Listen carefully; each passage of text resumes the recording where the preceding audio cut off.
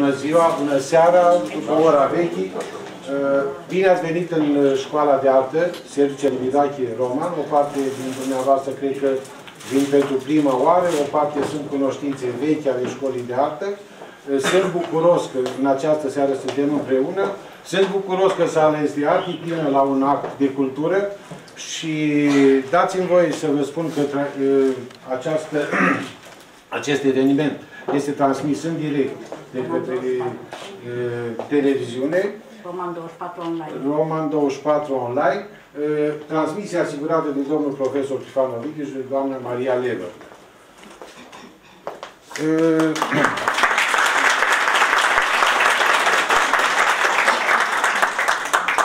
Avem plăcerea să-l avem în mijlocul nostru în această seară și mai așteptăm încă invitații în, pe parcursul desfășurării evenimentelor din seara aceasta, dar vreau să vi-l prezint, vi-l prezint în propriu spus, deja îl cunoașteți, este primarul orașului Roman, să nu greșesc cumva, domnul Lucian Ovidiu Micu, că după aia mă duc să cer fondul la primărie și dacă greșesc, nu mi am încurcat.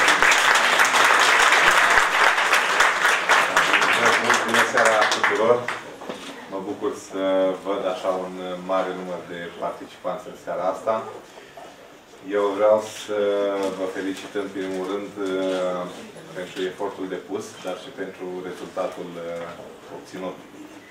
Mă bucur să văd că romașcanii își uh, dau mâna pentru a împleti fiecare unul harul său, altul dorința de a oferi comunității lucruri cât mai uh, frumoase. Sunt și eu uh, părinte și cred că aceste cărți pentru copii ne oferă și nouă adulților așa o mare bucurie. Dar uh, cel mai mult cred că le oferă o bucurie copiilor. Copiii care au posibilitatea ca prin versuri, prin muzică, să își dezvolte imaginația să își creeze modele pe care să le urmeze atunci când vor fi mari. Eu vă felicit încă o dată pentru munca realizată, pentru ceea ce ați făcut pentru aceste cântece frumoase, care îmi doresc să ajungă la cât mai multe cămine din uh, România. Vă mulțumesc mult! Înainte de a merge mai departe, vreau să fac precizarea că toată acțiunea din această seară este inițiativa colegului meu, domnul profesor doctor Ovidiu Trifan. Noi l-am ajutat cu partea materială, cu școlii de artă, dar absolut toți invitații și de tot ce țin de organizare s-a ocupat colegul nostru, fiind și cartea dumnealui. Îl felicităm de pe acum și sperăm că să aveți o seară plăcută alături de noi. Mergem mai departe cu prezentarea invitaților și dați-mi voie să o salut, să-i salut prezența în mijlocul nostru a doamnei conferențiar universitar dr. Liliana Mâță de la Universitatea Vasile Alexandrii din Bacău. Bine ați venit, doamne! De asemenea, o surpriză, domnul senator Dan Manoliu, bine ați venit! Cred că pentru prima oară. În continuare, ă, după cum am vorbit cu domnul profesor Ovidiu Trifan, în desfășurătorul nostru, voi, prezenta, voi face o scurtă prezentare. N-aș vrea să intru în amănunte tehnice, deci nu vă așteptați să facem o analiză armonică, melodică și așa mai departe a pieselor existente în carte, dar în primul rând voi prezenta câteva beneficii ale studiului muzicii în școli, în școli în general și în școala de artă, și de asemenea câteva considerații asupra pieselor din cartea colegului meu, care sper să fie la obiect și în, în primul rând sper să fie cât mai scurt, să nu vă plictisiți. Educația muzicală, începută de la grădiniță și continuată în școala de cultură generală sau într-o școală de specialitate, devine cu siguranță un fundament al necesității continuării ei și în celelalte perioade de vârstă, în practica muzicală amatoare sau profesionistă, în participări active, în special la formații muzicale.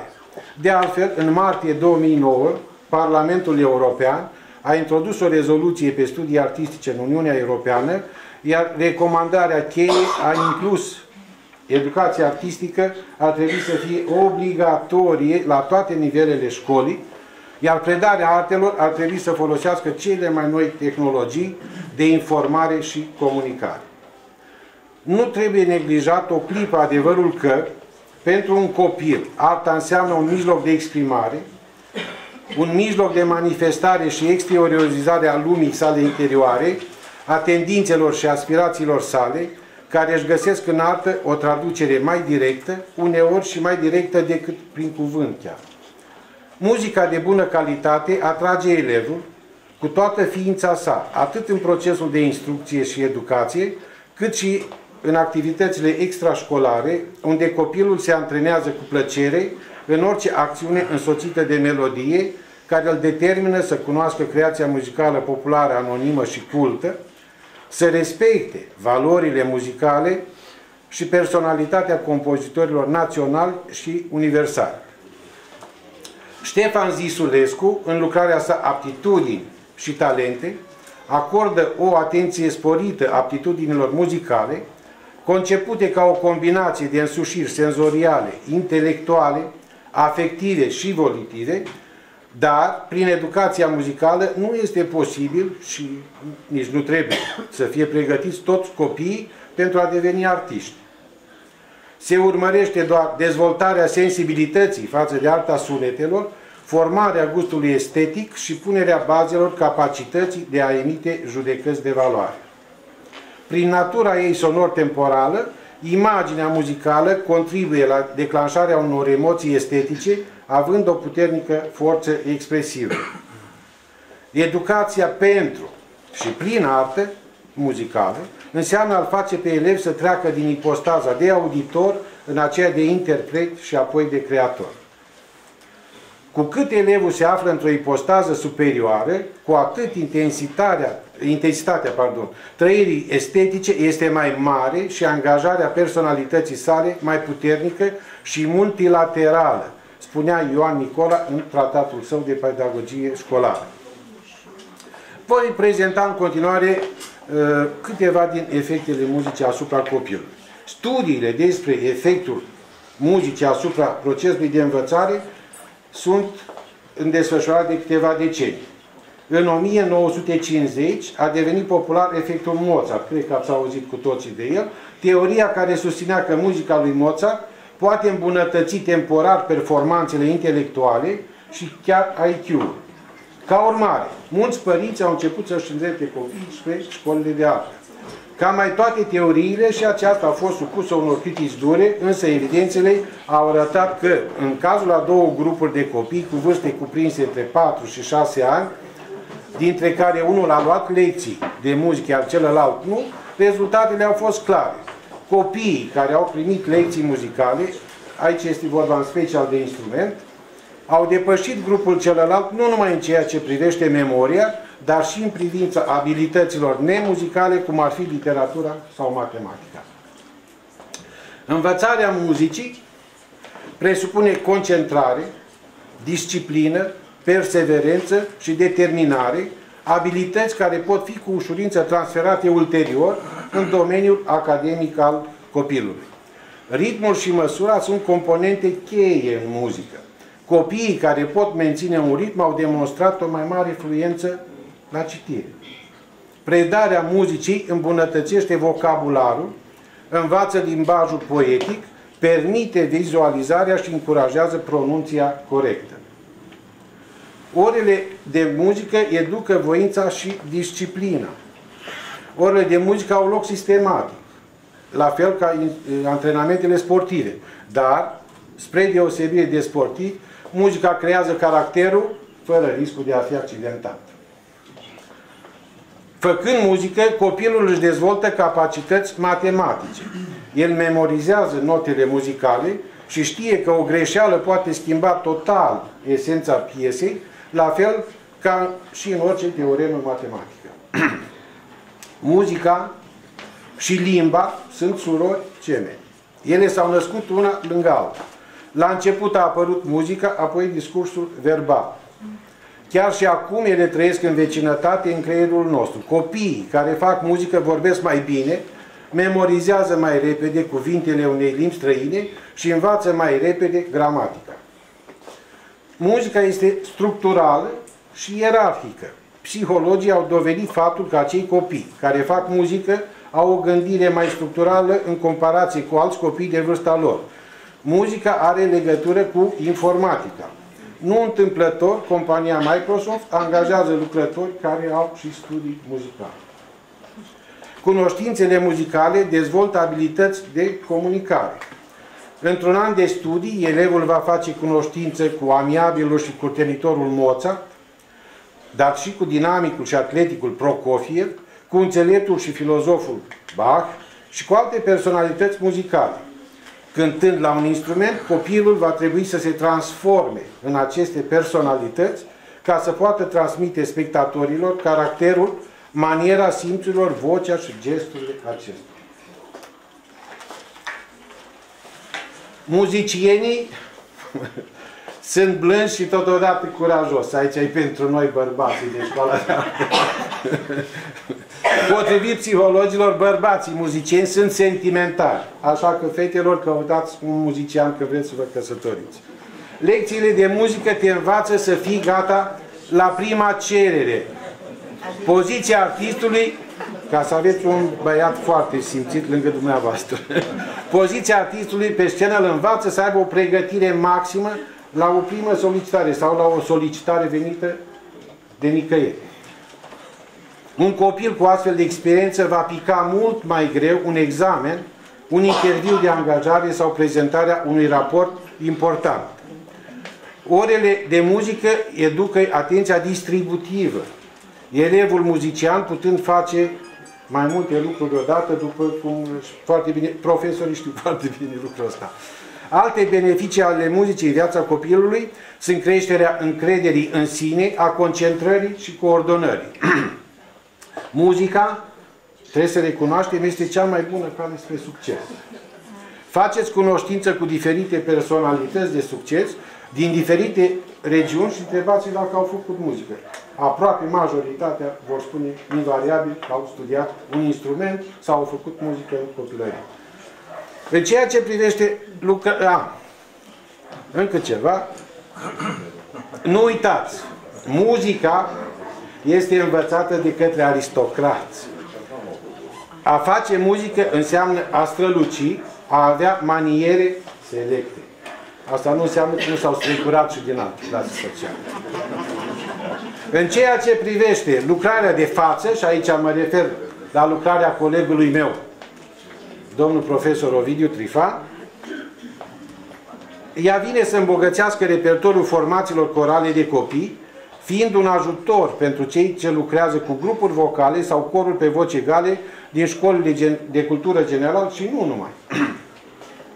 Cartea cuprinde un număr de șase piese, dintre care patru sunt compoziții ale domnului profesor uh, Ovidiu Trifar, iar ultimele două sunt uh, cunoscute, două cunoscute colini de scoală gază din Pătut și Câncina Hristos la masă, prezentate într-un aranjament coral pe trei voci egale, aranjamente realizate tot de către domnul profesor Ovidiu Trifar. Trei din aceste piese, Diocei, Cântec de Leagăn, la Carnaval, sunt prezentate de domnul profesor atât în varianta unison, cât și armonizate cu scopul declarat de a le face accesibile cât mai multor tipuri de cor. Cea de-a patra piesă, Vacanța Mare, este prezentată doar la unison și, după părerea mea, ce o să vedeți piesa, o să vă spuneți și dumneavoastră părerea, cred că a fost alegerea cea mai bună. Căci în vacanță, care se apropie cu pași repezi, toată lumea vrea să cânte melodia, să se simtă bine, fără a se gândi la variante academice. Toate piesele respectă, cum altfel, ambitusul vocilor de copii, făcându-le astfel foarte accesibile, nefiind necesară intervenția celui care se hotărăște să abordeze aceste piese. Melodiile acestor piese conțin structuri ritmico-melodice ușoare, accesibile și cu text agreat. Foarte, foarte plăcut copiilor. De altfel o să vă prezint textierul și graficianul acestei cărți la sfârșitul acestei prezentări. un textier de excepție și un grafician de excepție, a avut domnul profesor colaborator și a ieșit o carte de excepție. În lucrarea Cântec de leagă, simțul artistic al compozitorului simte nevoia de un artificiu ritmic în lucrarea sa și astfel apare o măsură compusă heterogenă, măsură compusă mixtă, care însă nu se transformă într-o polimetrie orizontală. Atât nu vă speriați, nu încep cu analiză.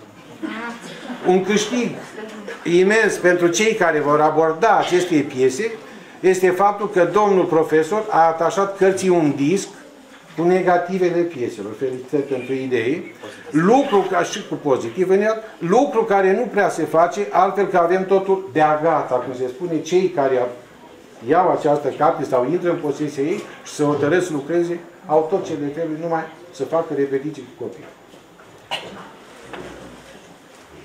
Cele două colinde de la final, prezentate în aranjamente corale pentru trei voci egale, pot fi abordate în cadrul, de acum bine cunoscutelor concerte de Crăciun, garanția calității acestor aranjamente fiind dată de semnătura domnului profesor dr. Ovidiu Trifan, cel care a obținut, a obținut doctoratul în muzică chiar cu această temă, colindul în creația corală românească. Doctorat obținut magna cum laude.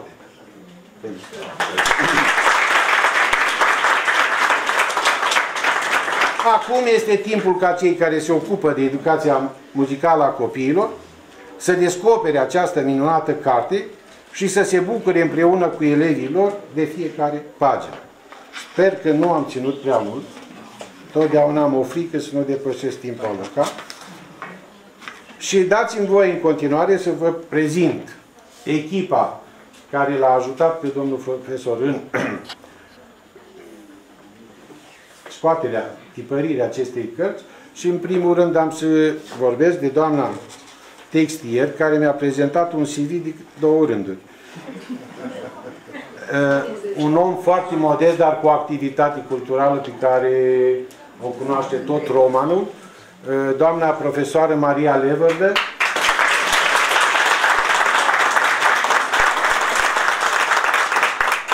profesor în învățământul primar la școala gimnazială Mihai Eminescu Roman din anul 1980.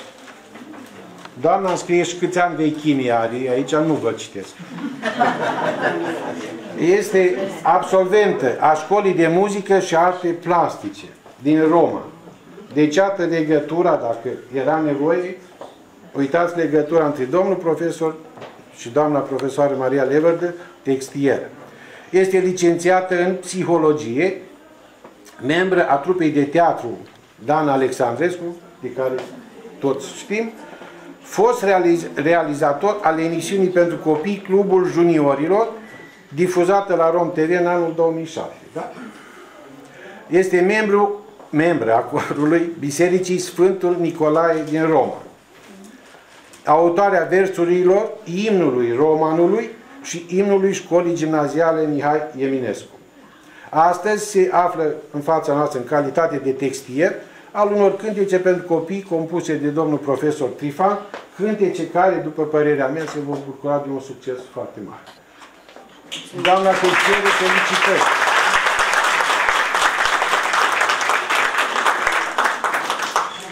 Cred că cineva mi-a încurcat foile.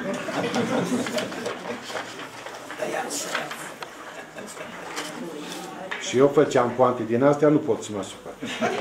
În continuare, cea care ne-a asigurat grafica acestei cărți și din nou vreau să vă atrag atenția, a fost eleva școlii de muzică, a absolvit Cristiana Când, acum 2 ani, nu? 2 ani. Cristiana Ursacu.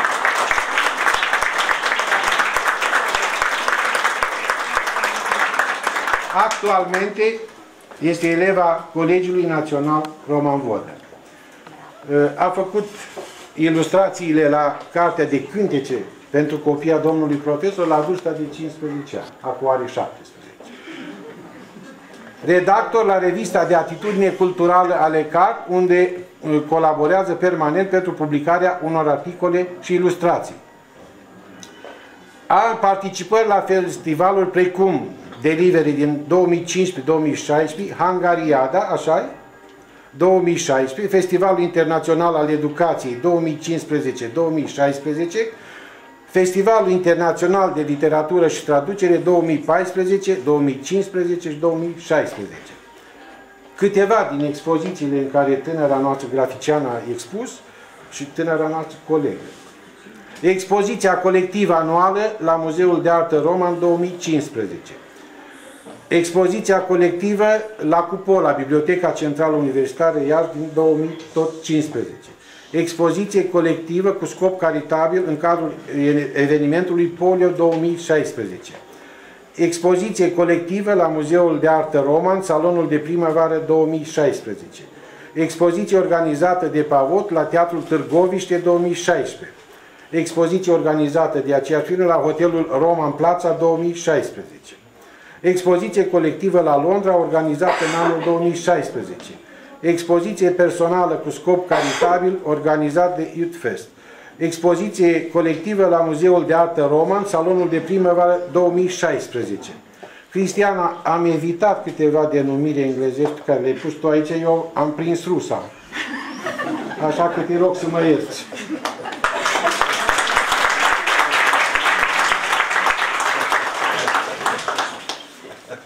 Ei, și ajungem la cel vinovat de întâlnirea noastră din această seară. Este vorba de către colegul meu, domnul profesor doctor Ovidiu Trifan, care a absolvit mai din mult. Am fost colegi, ca să știți.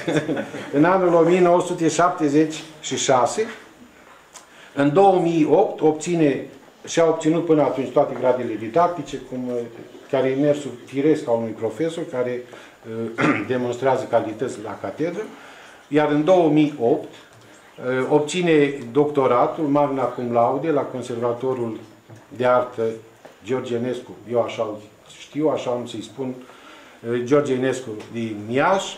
Uh, după cum v-am spus mai devreme, tema tezei domniei sale de doctorat a fost colindul în creația corală românească. Așa că cele două colinde de care v-am spus la sfârșit, într-adevăr, poartă girul unui doctor în muzică, nici nu am mai făcut uh, comentarii, după cum am văzut, ca să nu ne certăm după aia pe hol, știți. Uh, domnul profesor are o bogată activitate artistică, dar și publicistică. După cum foarte mulți dintre dumneavoastră știți, domnul profesor este îndrăgostit de cor, a dirijat numeroase, numeroase coruri până acum, Eh, dar în seara aceasta am să mă opresc eh, asupra unei părți mai puțin poate cunoscute, eh, partea sa de publicație. Și anume, la publicații putem trece cărți. Are câteva cărți deja scrise, domnul profesor, și anume, introspecții muzicologice, cântece pentru copii, n-am să spun și la editurile, ca să nu vă țin. Colindul în creația corală românească este teza de doctorat tipărită, educația muzicală în școala de cultură generală și în școlile de profil special. Viața corală în Roma în secolul 20. De asemenea, are numeroase studii, dintre care amintesc tradiție și modernitate în concepția episcopului Melchisedec despre muzica bisericească. Domnul profesor a predat la cele două seminarii din oraș, deci este în temă cu muzica bisericească interferențe tematice în colindele românești, tradiția spectacolului în cultura romașcană, ipostaze metroritmice în creația corală de colinde, aspecte ale poeticii folclorice în colindele românești. Articole publicate de către domnul profesor, la fel amintesc câteva, nu pe toate, de muzice natura, recenzia cărții compozitorului Liviu Dănceanu, care este tot romașcan, după cum bine știți, Eh, mitropolitul Visarion Puiu, un glas în pustie, Petre Teodoru ad catedram și extra catedram în lucrările sesiuni de comunicări din istoria orașului roman, Voința neamului la Roma, Hora, Art peste timp și spațiu, Poveste de Crăciun, Hipocrate la Taifas cu Euterpe, Maestri de muzică ai romanului Interbelit. Periplul coral romașcan, Celibidache, avatarurile unui geniu, medalion profesor Gheorghe Platon și ar mai fi, dar mă opresc aici. Conferințe, de asemenea, a susținut numeroase conferințe, dintre care amintesc consecințe ale globalizării asupra valorilor spirituale și educaționale, tradiție și modernitate în concepția episcopului Melchisedec despre muzica bisericească, in memoriam Sergiu Celibidache, tradiția spectacolului în cultura romașcană, Alexandru Zira, scriitor al învățământului muzical românesc. Zira se numește sala în care suntem noi acum, iar sus avem tot o sală de spectacole, Jora. Deci am ales doi compozitori romașcani. Mitropolitul Visarion Puiu despre rolul muzicii în biserică, școală și societate. Preocupări istoriografice și muzicologice ale episcopului Melchisedec Ștefănescu. A obținut numeroase distinții și de asemenea a participat la peste 30 de emisiuni și interviuri la posturi de televiziune, printre care amintesc Trinitas, Topal, CNS și Roman TV. În seara aceasta, domnul uh, profesor doctor se prezintă în fața noastră în ipostaza de compozitor și aranjor al unor colinde uh, și ca să ne demonstreze că ca să ne demonstreze că absolut ce a scris în uh, această carte merită să fie abordat de către profesorii din școlile generale, va prezenta un mic recital cu corul școlii în care va prezenta patru piese din cartea pe care o avem în față. Îi urez succes!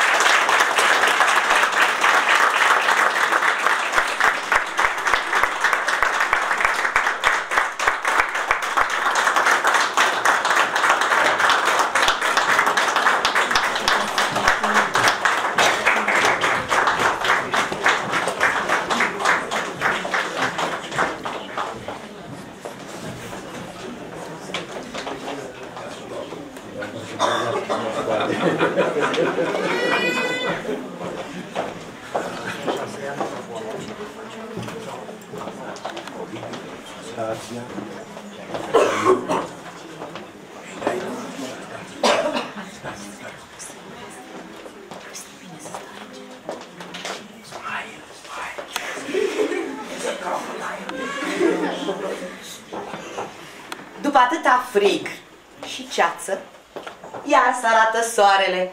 De acum nu ne mai îngheață nasul și picioarele. S-a împodobit pământul cu miresme și culori. Primăvara ne aduce tinerețe, zâmbet, flori. Vor intra în armonie cu frumusețea și exuberanța primăverii și cu primii ghiocei, membrii corului de copii Vox Infanție, vocea copiilăriei, elevei școlii de artă de la școala Sergiu Celibidache Roman, dirijor profesor dr. Ovidiu Trifan. Să încurajăm cu aplauze.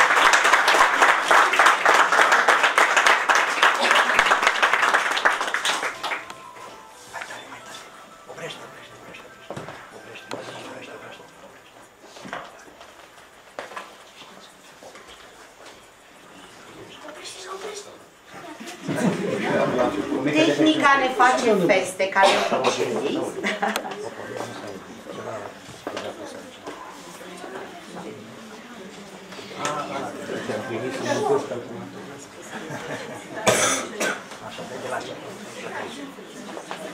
De asta avem negative, să vedeți pe viu cum o să se întâmple și la dumneavoastră. Nu o să meargă în cap, nu o să meargă...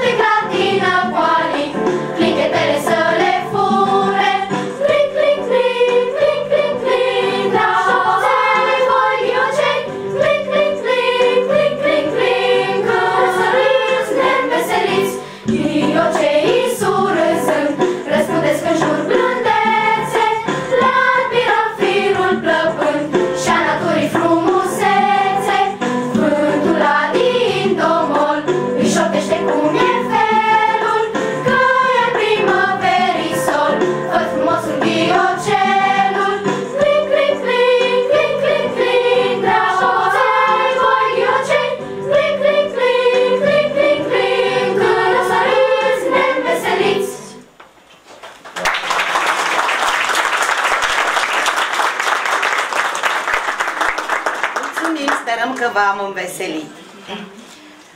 Fă-te suflete, copil, și strecoară-te tip-til prin porumb cu moți și ciucuri ca să poți să te mai bucuri.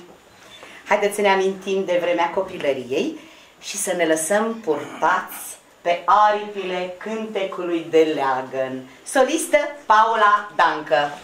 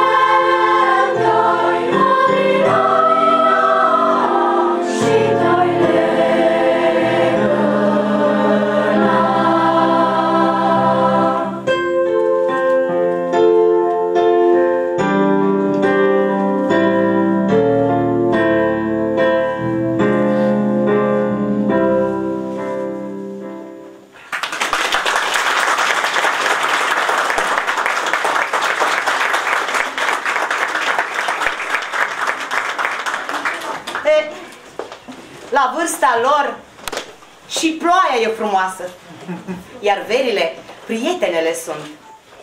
Nici o tristețe gândul nu le apasă, căci lângă bucurii le-ar fi urât.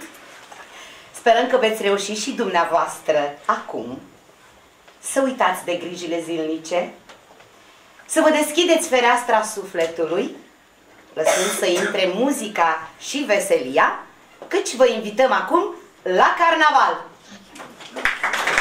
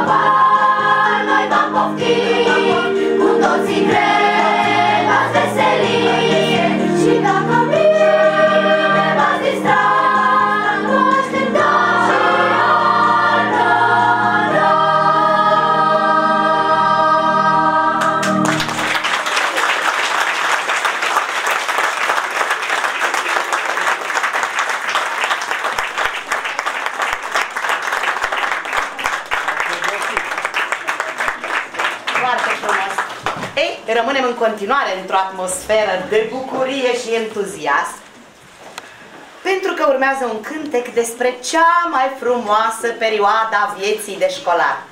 Vacanța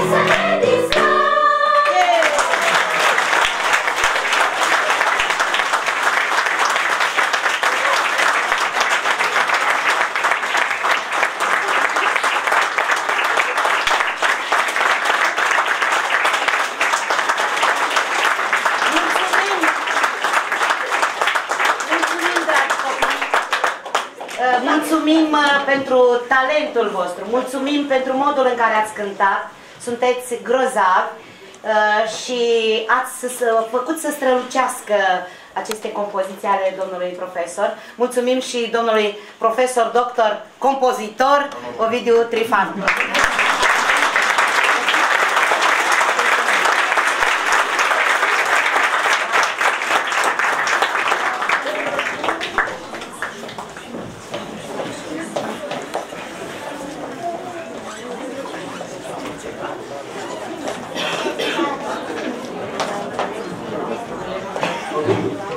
Hai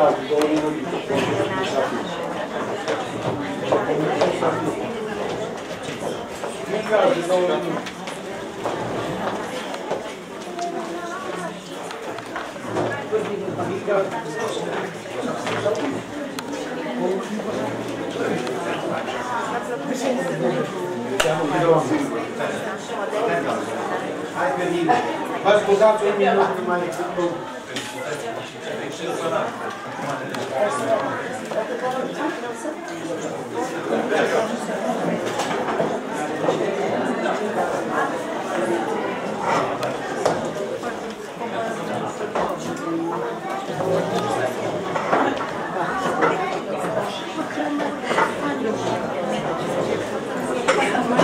Ultima piesă a exemplificat cât se poate de clar ce vă spuneam la început, crearea unei stări de spirit de către copii și întâlnirea unor personaje.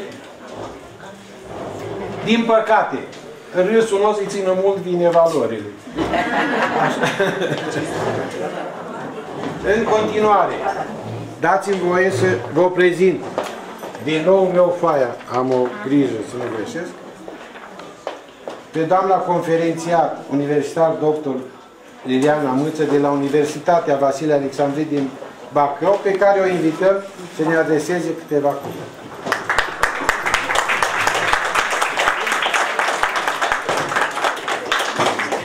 Bună ziua!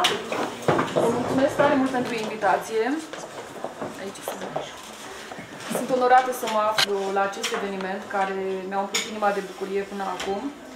Uh, Și mă gândeam câtă armonie când uh, se întâlnește această echipă minunată, pentru că avem atât muzică, avem și desen pentru acele ilustrații minunate și câte succese și realizări se află în spatele uh, numelor de pe copertă.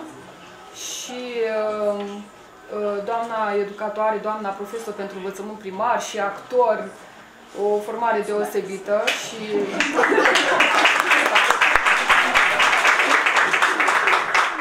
Și nu în ultimul rând, uh, autorul principal al uh, cărții, domnul compozitor, domnul profesor doctor, pe care mă bucur să-l cunosc în direct astăzi. Este prima dată când ne-am întâlnit în direct, deși am vorbit la telefon și uh, de când am auzit acea voce caldă, am considerat că se va naște un parteneriat deosebit între domnul profesor și viitorii studenți. Și aici mă apropii de subiectul principal, care constă în formarea viitorilor profesori pentru învățământul primar și preșcolar pentru a învăța pe copii să cânte. Aici este subiectul sensibil al uh, formării viitorilor învățători, deoarece în universitate nu avem un cor și consider că, așa cum am ascultat acești copii minunați, ar trebui și profesorii să, uh, să cânte, să fie pregătiți pentru a uh, reuși să formeze la rândul ei, lor copiii cu care vor lucra. Îl felicit pe domnul profesor încă o dată și îl așteptăm la Bacău pentru că în anul 3 uh, va fi, cred că, mentorul de bază al uh, studenților noștri, viitorii învățători și educatori și considerăm că uh, parteneriatul nostru prinde, Deja, cred că. prinde viață. Ce să mai... A fost a plecat cu succes de la început, acum 2 ani, când am venit cu studenții în vizită și uitați, acum deja se fructifică prin faptul că domnul profesor va preda la Universitatea Vasile Alexandrii din Bacău, iar în uh, noul plan chiar există această disciplină, didactica educației muzicale. Și este foarte importantă pentru ca viitorii învățători și educatori să pregătească copiii, să învețe într-un mod științific muzica, pentru că nu este o disciplină ușoară, deși la prima vedere pare așa că interpretăm un cântecel, nu este deloc simplu. Eu am cântat într-un cor, sunt absolvent al liceului pedagogic și în spatele acestei armonii este o muncă de plină. Mi-aduc aminte câte pregătiri, numai încălzirea vocii dura jumătate de oră. Uh, și acum îmi aduc aminte acele melodii, încă le mai interpretez, le rămân în memorie. Domnul director a subliniat foarte bine, chiar din punct de vedere științific, contribuția muzicii la dezvoltarea memoriei, a inteligenței, a stimei de sine. Și consider că și eu uh, mă simt mult mai bine pregătită și psihic pentru că am avut parte de această pregătire prin muzică. Și uh, ce am constatat la domnul profesor, uh, există și o anumită căldură față de copii. Deci nu doar acea duritate, uh, acea repetiție și acel efort, pentru că în spatele armoniei este un efort deosebit. Sunt multe ore de pregătire pe care părinții le știu, părinții la care sunt în sală pot confirma. Îi mulțumim încă o dată și îl așteptăm la Bacău cu mare drag. Avem nevoie de dumneavoastră.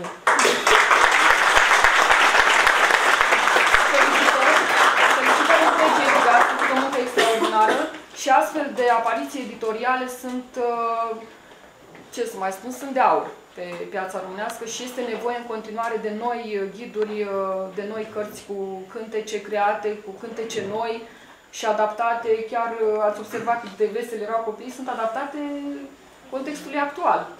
Moderne. Moderne, chiar le consider moderne, foarte frumoase. Felicitări și Romanului pentru ceea ce faceți aici. Toate cele bune și chiar o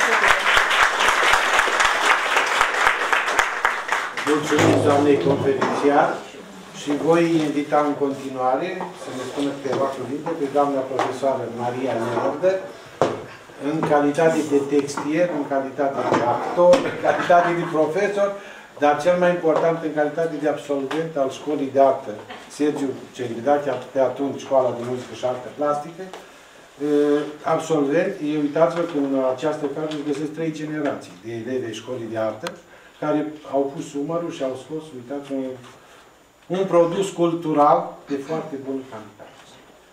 Doamna Nere,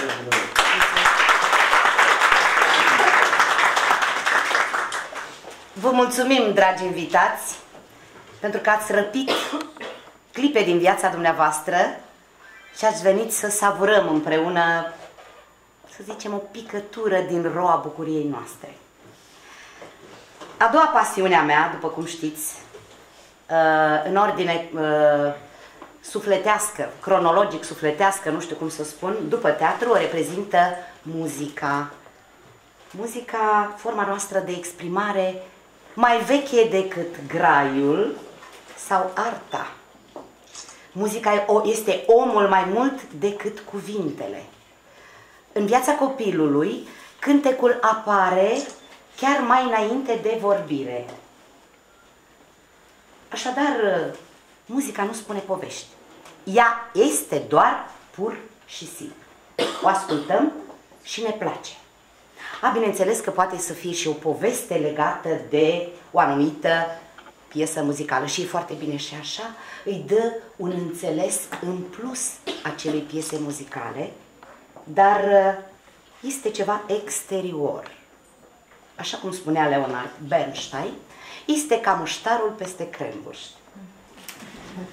Uh, nu e ușor să fii textier. Deși muzica este foarte importantă, cântecele pentru copii, în cântecele pentru copii, versurile contează mai mult decât pentru adulți. Tematica textelor trebuie să facă parte din universul intereselor lor.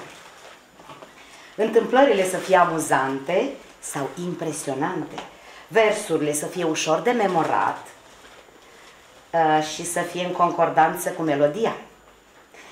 Accentele firești uh, din versuri trebuie să coincidă perfect cu accentul măsurii muzicale. Numărul de silabe din vers trebuie să fie același cu numărul de note muzicale. Și sunt uh, destule canoane în realizarea unui text pentru o melodie. Colaborez de multă vreme cu domnul profesor dr. Ovidiu Trifan, care mi este și vecin de cartier. Doamna este sătulă, draga de ea, cât am lucrat la imnul școlii, așa, și dumneavoastră chiar pleca de acasă la un moment dat. Nu e ușor pentru că domnul profesor este foarte pretențios și eu de asemenea. Uh, am lucrat din considerente practice. Dumnealui avea nevoie de texte pentru cântece pe care le-a prezentat ulterior la concursuri și la concerte, iar eu le-am folosit în serbări. E, această carte, sau cărticică, dacă îi putem spune, a fost pentru mine o frumoasă surpriză. Habar nu am avut de cele întâmplate. Pur și simplu am fost pus în fața faptului împlinit, domnul profesor mi-a trimis în format electronic această carte. Îi mulțumesc foarte mult pentru această mare, mare surpriză. Cartea era deja tehnoredactată, ilustrată. Uh, eu n-am făcut altceva decât să îi mulțumesc și să mă bucur de, această, de aceste clipe împreună cu dumneavoastră de lansare de carte.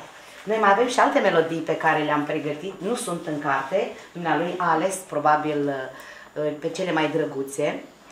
Cum am uh, colaborat, uh, mi-a fredonat la telefon melodia, mi-a scris-o pe note, l-am și înregistrat când se putea, sau eu am scris textul, dar foarte rar s-a întâmplat asta și dumnealui cu talentul uh, pe care l-ați putut, care a răbufnit pe scenă, compunea adaptând melodia la text.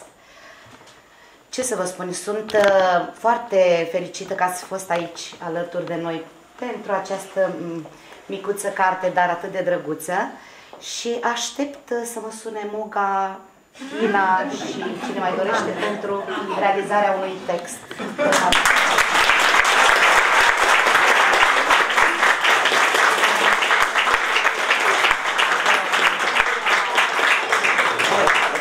Mulțumesc! Mulțumim, doamna profesoară! Și acum voi invita în fața dumneavoastră pe cel cum am mai spus, vinovat de acest eveniment grav nou, de domnul profesor dr. Ovidiu Trifan, pe care îl rog să ne spună câteva cuvinte.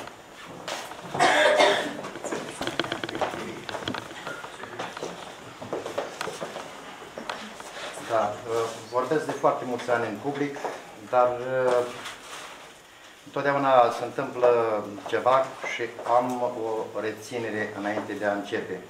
Uh, ca de multe ori mi-am programat să spun ceva și trebuie să, trebuie să încep cu altceva. Uh, la adresa mea s-a spus un lucru la care eu nu îndrăznesc să uh, visez. Uh, compozitor. Pentru mine compozitor înseamnă ceva foarte mult. Între, între noi, studenții de la conservator, era o, o glumă pe tema asta, că unii compun muzică, iar alții comit muzică. Eu încă nu... Da, și sunt destui care comit muzica astăzi. Um, am auzit uh, în prezentarea domnului uh, uh, director uh, spunând despre uh, efectul Mozart. Da. Uh, a apărut de curând o lucrare, uh, o sinteză pe această temă, aparține uh, medicului și muzicianului Don Campbell. Uh, a apărut la București într-un tiraj destul de, de mic, am reușit să-l cumpăr. Uh, ceea ce am remarcat și mi-am adus aminte aici când spunea domnul director de efectul Mozart, uh, autorul uh, spune în carte că, surprinzător, primul, primul organ care se dezvoltă în, în uterul matern este urechea. Cam la 8 săptămâni se formează urechea. La 6 săptămâni copilul aude. De aceea, dânsul recomandă foarte mare atenție părinților atunci când mama este însărcinată, ce fel de atmosferă este în casă, ce fel de discuții se poartă între părinți, ce fel de muzică ascultă părinții. Pentru că la naștere, copilul care nu vede încă, își întoarce capul spre uh, locul de unde aude glasul mamei. Dacă s-a obișnuit cu glasul mamei încă din starea uh, intrauterină, el după glasul mamei merge. Și al tatei dacă a stat de vorbă cu, uh, cu dânsul uh, atunci. Da, se recomandă părinților, chiar din, uh, din acel stadiu intrauterin, să spună copiilor povești, să le cânte, mama să le, să-i cânte viitorului copil, să-l alinte. Pentru că de atitudinea ei din această perioadă depinde foarte mult dezvoltarea uh, ulterioară a copilului. Așa se face că se nasc copii, uh, să zicem, copii cu tendințe agresive, încă de, uh, de mici, și alții copii care pot fi educați cu multă uh, ușurință și copii docili. Deci, iată efectul uh, Mozart. Sunt apărute șase uh, uh volume, șase, da, șase DVD-uri uh, cu piese selectate de uh, și de Don Campbell și de un alt uh, medic uh, american, muzician, muzician la bază, atenție, tot muzician, uh, unde sunt melodii care contribuie la uh, la un echilibru, la așezarea unei stări interioare de echilibru, de meditație, unei stări propice lucrului, unei stări propice concentrării. Da, muzica lui Mozart se pretează la toate lucrurile astea. Ca să nu mai spunem și de muzica lui Bach, care ne dă așa, adică un, un sentiment teribil de, de echilibru. Că muzica, muzica lui Bach se, se adresează atât emisferii cerebrale uh, drepte, cât și a emisferii cerebrale uh, stângi. Uh, centrii memoriei, centrii uh, creativității, emisfera cerebrală uh, dreaptă. Povestea acestei cărti, cărticele, ca să zic așa, este destul de veche, da, până acum s-au spus uh, lucrurile astea, dar de fapt ideea a venit din dorința de a îmbunătăți, nu de a îmbunătăți, poate prea mult spus îmbunătăți, de a contribui, mai bine zis, de a contribui la diversificarea repertoriului de cântece al uh, școlii noastre. Auzim cu toții uh, în mass media foarte multe cântece cântate și nu interpretate de copii, al căror, ale căror texte nu sunt absolut, nu fac parte absolut deloc din universul copilăriei. Textierii, nu știu, nu, nu știu la ce se gândesc în momentul în care uh, uh, scriu pentru copii uh, versurile unui, uh, unui viitor uh, cântec. Versurile trebuie să uh, facă aluzie la universul copilăriei. Aduceți-vă aminte de cântecele pe care uh, dumneavoastră le învățați când erați uh, copii. Fiecare vârstă are cântecele ei. Absolut. Iar copilăria are cântecele cele mai frumoase. Uh, aceste cântecele, mai întâi, le-am uh, supus uh, testului uh, copiilor. Este uh, criticul cel mai uh, nemilos, care, uh, prin sinceritatea pe care o știm cu toții, uh, dă verdictul irevocabil, da sau nu. Și mizând pe uh, sinceritatea copiilor, Uh, în câteva repetiții le-am prezentat cântecerile fără ca ei să știe cine este autorul muzicii, cine este autorul versurilor, de unde e cântecelul. Un cântecel l-am adus să-l învățăm, dacă vă place îl cântăm, dacă nu îl lăsăm departe. Da, a fost răspunsul și la primul, și la celălalt, și la celălalt. Și de atunci mereu, dar nu mai cântăm și cu tare. Ei, atunci când am văzut că ăsta a fost verdictul sincer al celui mai sever critic, atunci au apărut uh, partiturile cu uh, semnătura celor doi. A, iată cui aparțin cântecele. Da, păi de ce n-a spus? Păi, nu trebuia să, să, să spunem. Dar am considerat uh, necesar că munca aceasta noastră, nu spre uh, lauda noastră, ci spre folosul altora, a trebuit publicată și dată și autora. Am, asta am crezut de, de datoria uh, noastră. Uh, vreau să vă spun că la realizarea uh, cărții uh, au contribuit, așa cum spunea domnul director, și o fost elevă a școlii noastre, Cristiana Orsachi. De ce m-am oprit asupra ei și nu asupra unui grafician matur? Tocmai pentru ca grafica să fie realizată de cineva cât mai apropiat de vârsta copilăriei de lumea, de lumea lor. Versurile sunt realizate de cineva care lucrează cu copii. Și eu uh, beneficiez, uh, să spunem, uh, de faptul că, așa, ca o, poate o experiență nu chiar singulară, dar aproape. Am lucrat cu copii de la vârsta de șapte ani și până la tineri de 25-26 de ani la Institutul Teologic Romano-Catolic Franciscan. Nu este absolut deloc ușor să te adaptezi atâtor trepte de vârstă, de la șapte ani la vârsta, la vârsta adolescenței și a uh, maturității. Ce pot să vă spun? Cântece au fost foarte bine primite și atunci am, uh, am zis că merită să, să le cunoașteți și dumneavoastră. Și am să închei pentru că tot uh, s-a vorbit despre muzică și pentru că tot școala noastră îl are ca patron spiritual pe uh, Sergiu Cerbidache, am uh, selectat din gândirea filozofică a, a maestrului Cervidache doar uh, trei răspunsuri la trei, la, cele, la trei dintre cele mai frecvente întrebări pe care ne le punem cu toții despre muzică.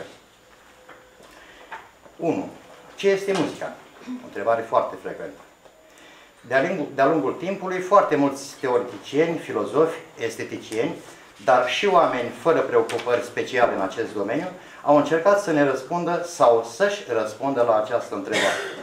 Sunt foarte multe răspunsuri de natură filozofică, poetică și chiar teologică, sau pur și simplu vari explicații pe care mulți dintre noi le-au căutat din dorința sinceră de a-și lămuri uh, acest fenomen atât de complex și în același timp atât de simplu. Ceribidache a dat un răspuns care, la prima vedere, ne surprinde și totodată ne contrariază prin simplitatea nudă a formulării, dar și prin adevărul exprimat. Muzica nu este nimic. Muzica este însăși viața. Este ceva viu care, ca orice este viu, se naște, evoluează și moare, ca orice plantă, ca orice sentiment.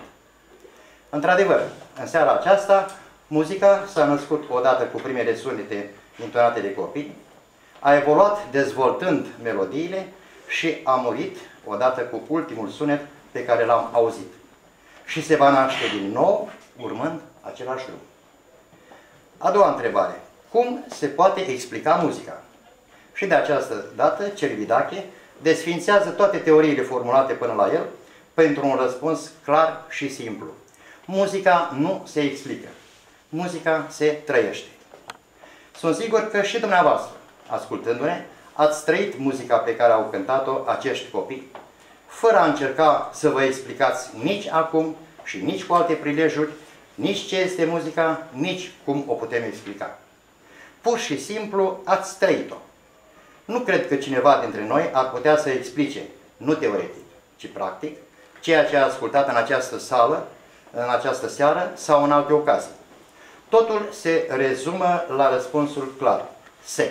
Ne-a plăcut sau nu ne-a plăcut ce am ascultat. Adică, ne-am bucurat sau nu de ceea ce am ascultat.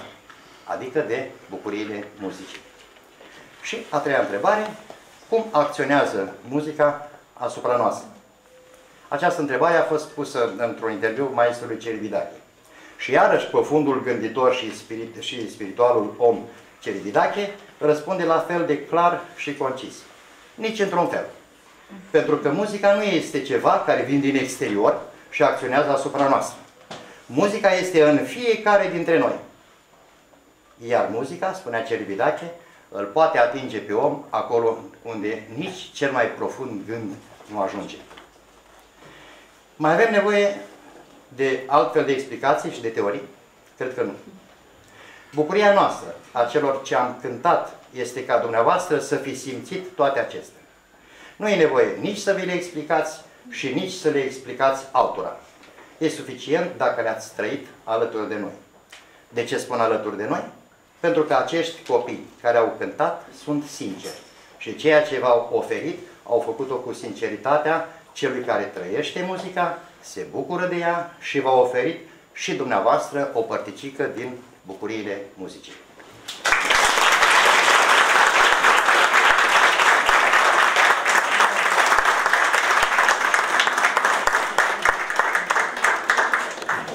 Muzica nu se explică, înseamnă că noi stăm degeaba la școala de muzică.